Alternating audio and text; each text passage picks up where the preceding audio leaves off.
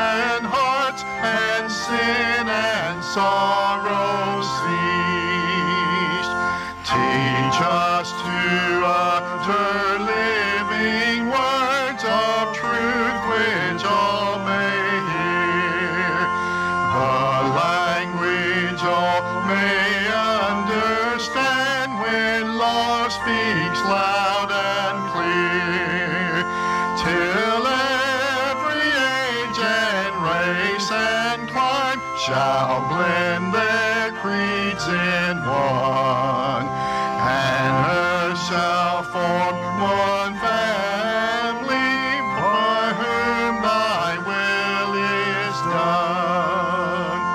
So shall we know the power of Christ who came this world to save.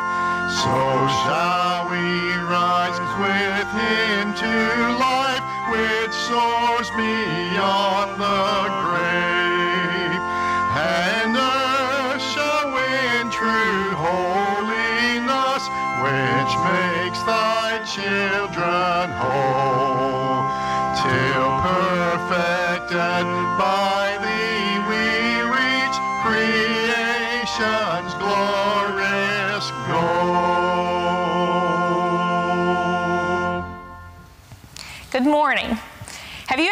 Something bad and you were punished by being told to sit in a chair? Have you ever been placed in a timeout chair? Have you done something wrong that either a parent or an older adult told you to sit out by yourself for what seemed like a lifetime and think about what you did? Well, I can remember when I was a little girl that my mom would tell me and my brother to sit in a timeout chair. My mom tried to have me sit in the timeout chair as well. It was hard for me to sit still because I was thinking about all the other things I could be doing, such as riding my bike or playing outside, playing ball, or just watching TV. The timeout chair was punishment to show that there are consequences for our actions.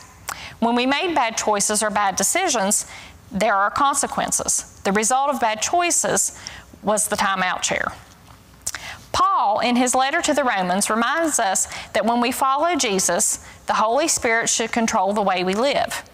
The Holy Spirit sets us free from sin and should guide us in the choices we make. When we become followers of Jesus, our lives and how we make decisions should change. Life is all about living like God wants us to live. Every decision should be influenced by the Holy Spirit. Do you remember how you felt when you were told that you could get up and leave the timeout chair? When we let the Spirit of Jesus live in us, it's like we're being released from a timeout. We are free to love one another, worship God, and enjoy the life that's been given to us. As we go about our day thinking of actions that are pleasing to God, we make better choices. Let's bow our heads. O Lord our God, lover of the whole world, teach us to follow the Holy Spirit's movement as it directs our lives. Teach us to bless others in the way the Spirit controls our decision. While we do that, we will show actions that are more pleasing to you and one another. Amen. Today's scripture reading comes from the book of Romans, chapter 8, verses 8 through 11. There is therefore now no condemnation for those who are in Christ Jesus. For the law of the Spirit in life, Christ Jesus, has set you free from the law of sin and death. For God has done what the law, weakened by the flesh, could not do by sending his own Son in the likeness of sinful flesh. And to deal with sin, he condemned sin in the flesh, so that the just requirement of the law might be fulfilled in us, who walk not according to the flesh, but according to the Spirit. For those who live according to the flesh set their mind on the things of the flesh, but those who live according to the Spirit set their minds on the things of the Spirit. To set the mind on the flesh is death, but to set the mind on the Spirit is life and peace. For this reason, the mind that is set on the flesh is hostile to God. It does not submit to God's law. Indeed, it cannot. And those who are in the flesh cannot please God. But you are not in the flesh, you are in the Spirit, since the Spirit of God dwells in you. Anyone who does not have the Spirit of Christ does not belong to him. But if Christ is in you, through the body, though the body is dead because of sin, the Spirit is life because of righteousness. If the Spirit of Him who raised Jesus from the dead dwells in you, he who raised Christ from the dead will give life to your mortal bodies, also through his Spirit that dwells in you. The Word of God for the people of God.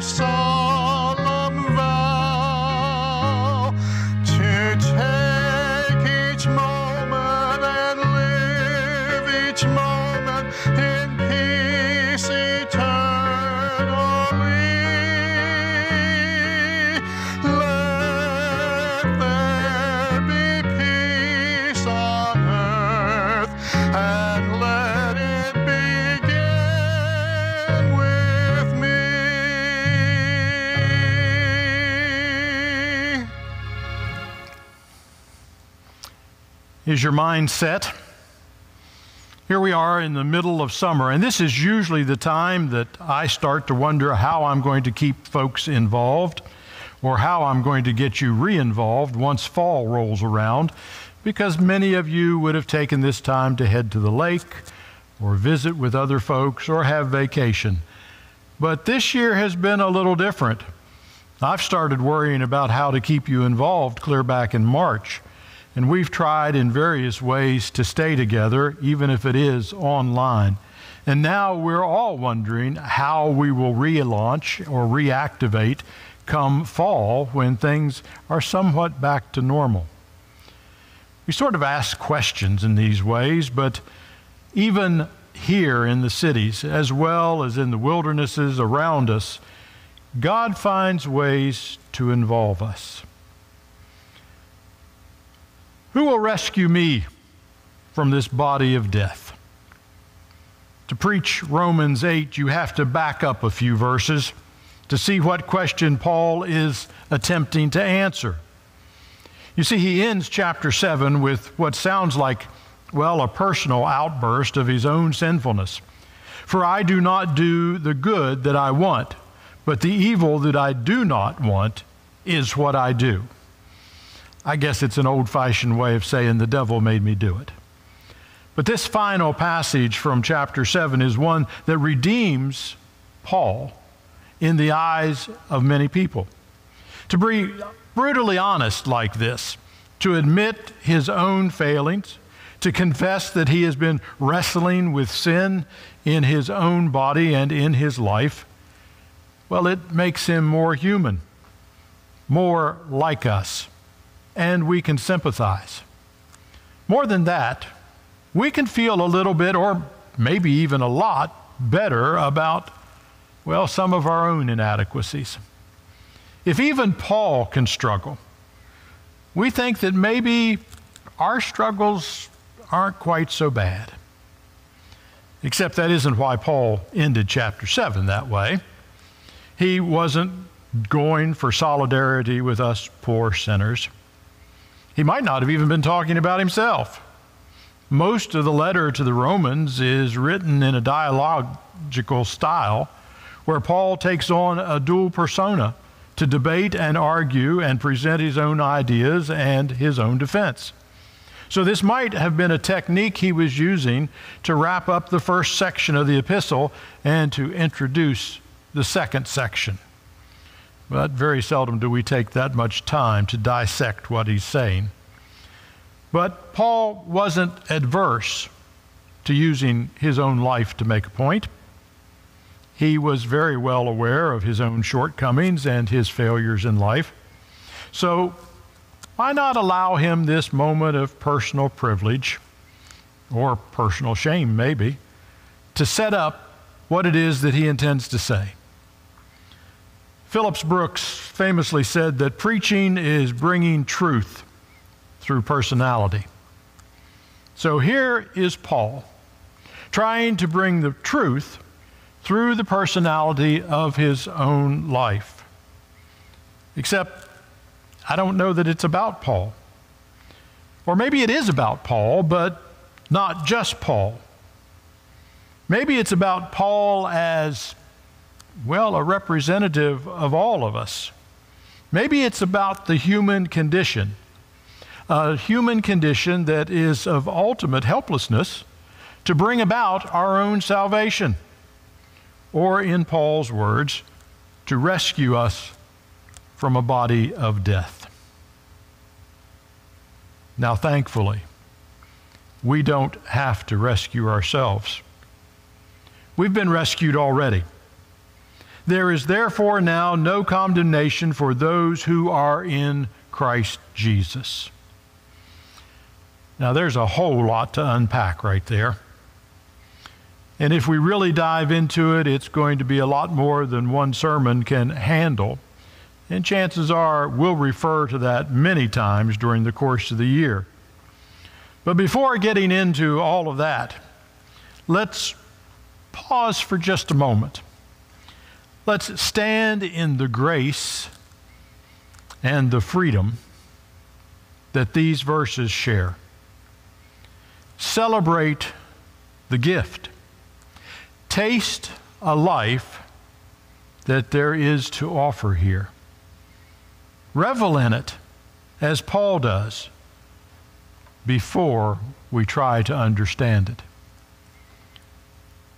We too many times try to define grace in ways of humanity, in ways that we would look at someone repaying or retribution or whatever else that we want to call it in order to get in good graces. But Paul constantly reminds us that we didn't do anything to earn the grace, and we can't ever do anything to earn the grace. It is a thing of faith realize that it is countercultural, this faith thing. We nod when we hear these things, and I can picture many of you out there during sermons from time to time saying, Yes, thank you, Jesus, without really saying it out loud, of course. And you're grasping with the depth of the gift, the very radical nature of grace. You see, our culture is one that is a can do culture. If it is to be, it's up to me. Pull yourself up by your own bootstraps. Whatever cliche comes to mind for you, we have that kind of faith. To begin with the proclamation that there is something you can't do, well, that just about flies in the face of being an American. To admit that we are helpless in the face of our own sin is a shame and an embarrassment in the very climate of our culture. And it is the very thing that holds the church back in ways of inviting new people to come and join us because the typical response is, well, I, when I get my life together, I'll start coming to church, or I can't go to church, I'm too much of a sinner. And we don't bother correcting people that, folks, we're all sinners. We're all here by the grace of God. Yes, if we skip over that, then Paul's argument is moot. To skip over this makes everything that follows empty and powerless. It's only in diving into the very depths of Paul's plea Will you rescue me? Folks, all around us are people saying, Will you rescue me? It is only when we hear that cry and we start to realize the very glory of what Christ has done for us and in us that we start to understand why the church exists. And what is that? How do we describe this gift? This no condemnation, or as the commercials for the various gyms that you see on TV, a non judgment zone. Paul says no condemnation, no judgment, freedom, freed from a law whose only purpose was to burden and to condemn. The freedom to live. I mean, really live and enjoy your purpose and know what the ultimate goal and outcome is going to be, and to be able to live with that, to really live, that's a gift. It is, in fact, a life eternal. But that life begins now in the freedom of the grace of Jesus Christ, the resurrected one. And this Christ will give life to our mortal bodies. It means that we don't have to wait for heaven. We don't have to wait, meaning that this isn't just about someday, it's not about the future, it is about this day, right now. The very gift of eternal life has been given to us through the grace of God and the resurrection of Jesus Christ. Does it have conditions? Well, yeah. But what doesn't? To live this life, to claim this freedom, there is an invitation to which we need to respond. Now, hear that word invitation. There is now no condemnation, writes Paul, for those who are in Christ. In Christ. Now, what was Paul meaning? What was in Christ to Paul? Well, as the scriptures were read this morning, Paul contrasts what it is to be in Christ as opposed to what it is to be in the flesh or in the spirit.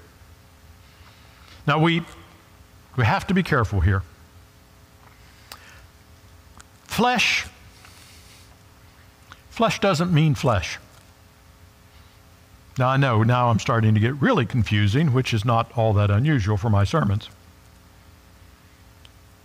It doesn't mean flesh, it means bodily things.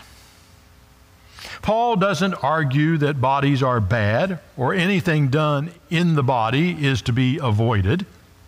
Now, many have gone astray in these interpretations, and yes, they have stretched it to the limit in so many different ways. Yes, he lists the works of the flesh. And these are some bodily sins that are on that list. But there's also a couple spiritual sins on that list, like adultery. Now, Paul wouldn't argue that bodies are bad if he wants to argue that this gift of life comes to our mortal bodies. So, why would he say that something is bad if God is going to bless it with a gift like that? Perhaps one way that we can translate this duality would be to talk about self directed and spirit directed. Living guided only by self, selfishness and only thinking of ourselves leads to death. And Paul argues that being guided by the Spirit is to know the very fullness of life. Living by the Spirit takes at the outside, Paul argues, a surrender of self. Ah, that's where it starts to get fun. We don't like not being in control. We don't like a situation where we don't call the shots. Paul argues that a surrender of self it takes an admission that you are powerless in the face of your own sin. You ever wonder why we keep making the same mistakes over and over and over?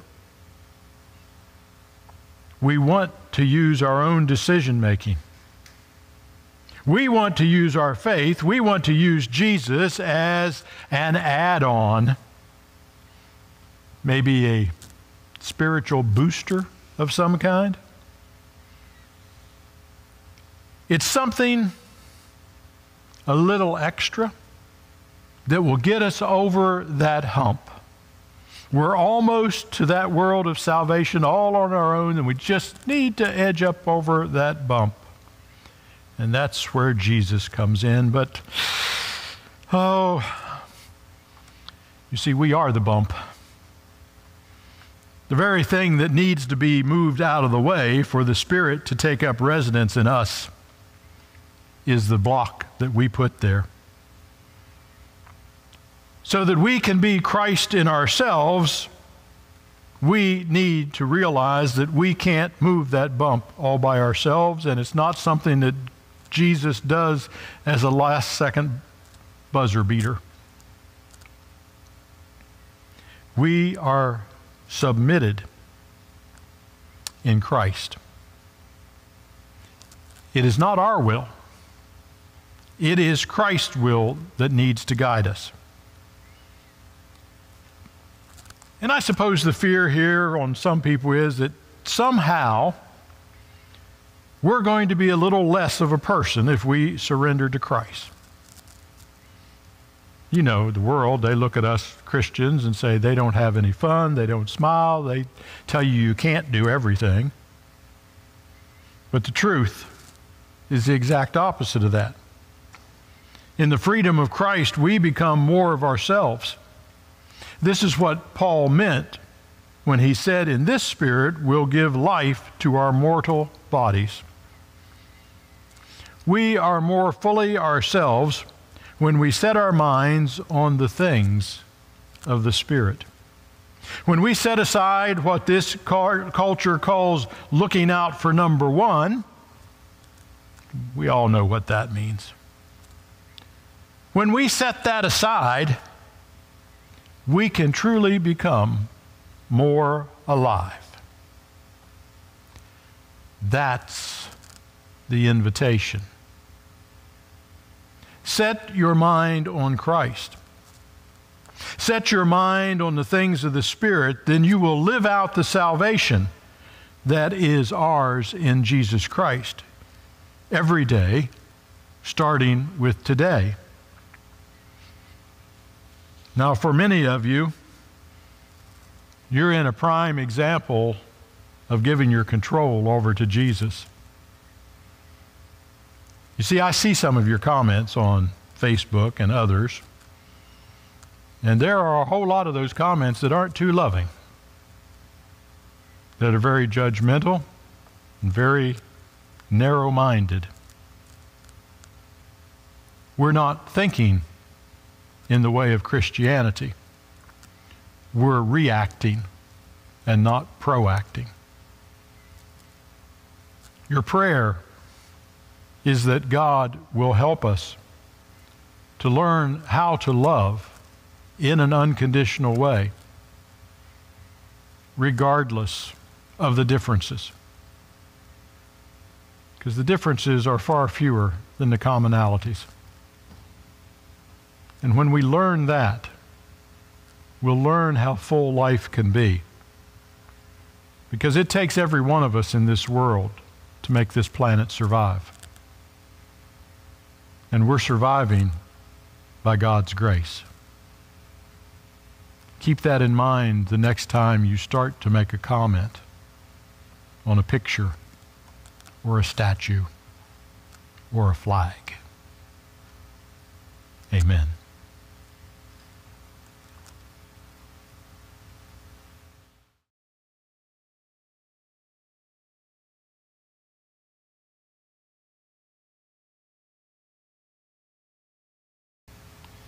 We continue to give thanks and praise to all of you that are actively continuing your support of the ministry of this church, even in the midst of the COVID 19 virus.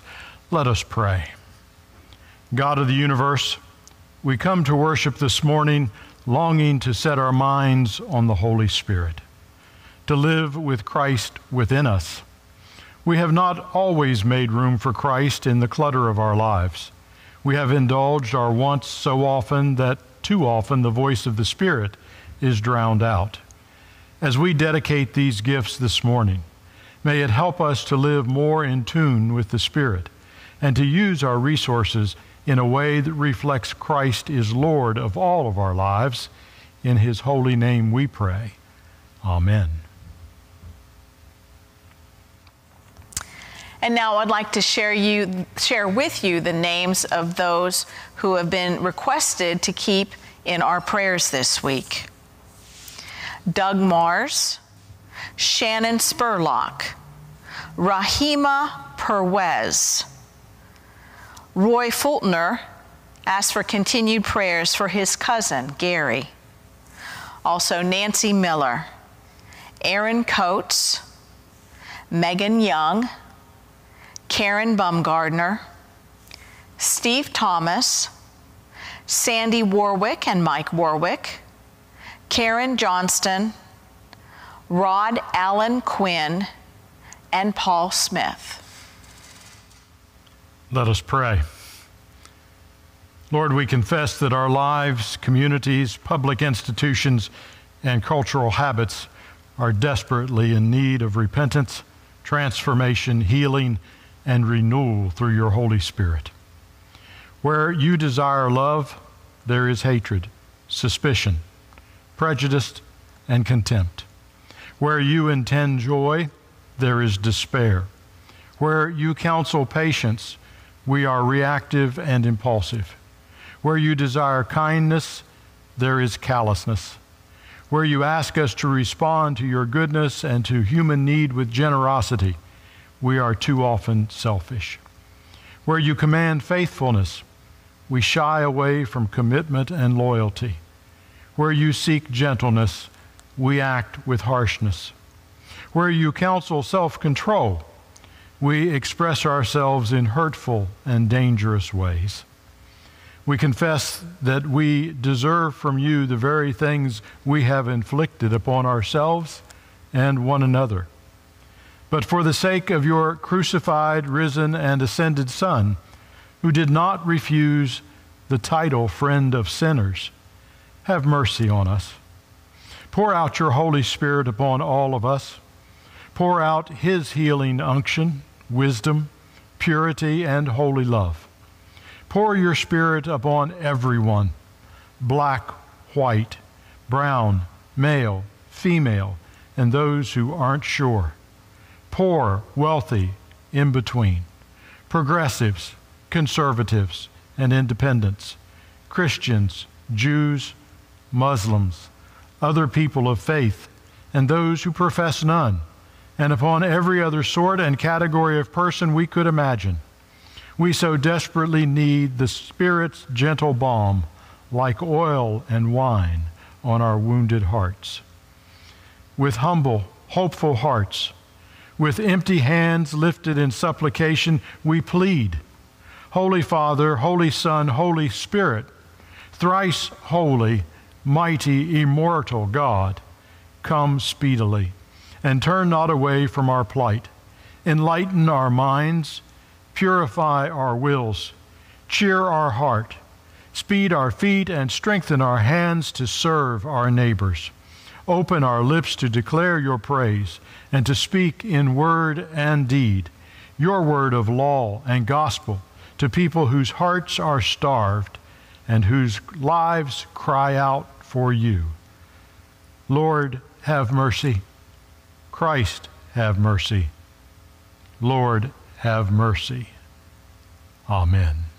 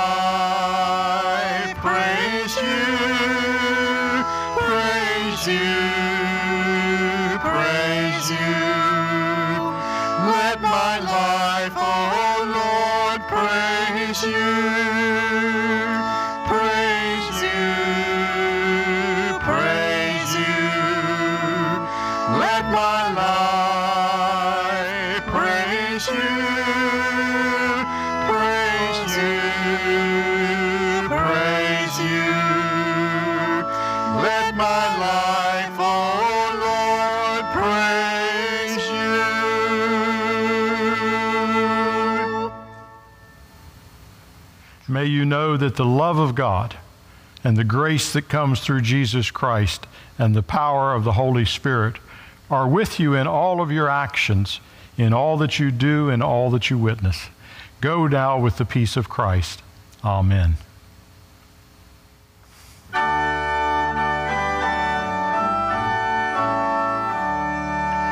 God be with you till we meet